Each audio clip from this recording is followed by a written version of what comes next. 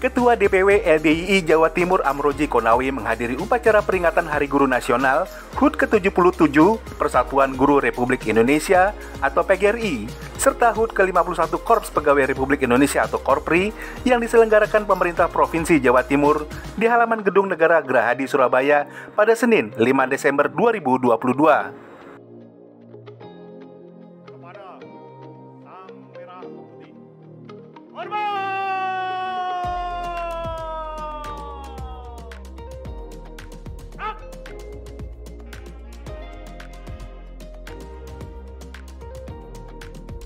Bertindak sebagai inspektur upacara, Gubernur Khofifah Indar Parawansa dalam sambutannya, ia meminta seluruh aparatur sipil negara atau ASN dan guru agar maksimal melayani serta mengabdikan dirinya pada masyarakat.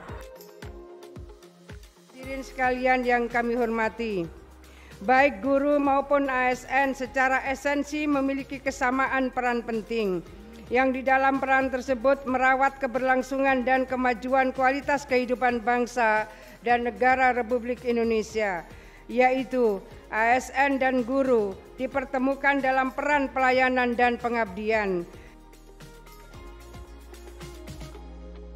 Gubernur Khofifah menekankan kepada ASN dan guru untuk menghadirkan kualitas kerja di Jawa Timur yang berbasis inisiatif, kolaborasi, dan inovasi atau disingkat dengan IKI.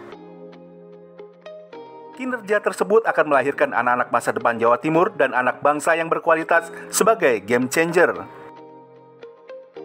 Dalam kesempatan itu, Amroji Konawi mengatakan peran guru berpengaruh besar dalam melahirkan generasi yang unggul untuk menyongsong Indonesia Emas 2045. Ia mengapresiasi kepada guru yang selama ini bekerja keras dalam mencerdaskan generasi bangsa. Semoga para guru yang ada di Indonesia ini selalu terus berkarya, selalu mendapatkan tempat yang baik dan kesejahteraan yang baik karena dengan kesejahteraan guru yang baik ini maka insya Allah mereka akan lebih giat lagi dalam uh, mencerdaskan anak bangsa. Menurutnya, pembangunan karakter untuk membangun SDM unggul dimulai dari peningkatan peranan stakeholder pendidikan. LDII menaruh perhatian pada kinerja dan kualitas seorang guru sebagai tenaga pendidik yang memegang kunci kualitas pendidikan di Indonesia.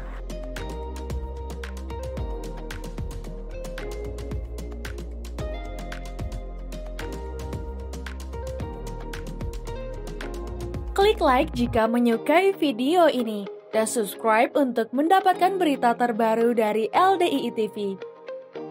Alhamdulillahi jazakumullahu khairah telah menonton.